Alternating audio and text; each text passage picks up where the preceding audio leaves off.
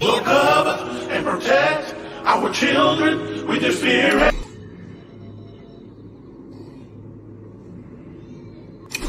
Will cover and protect our children with your spirit.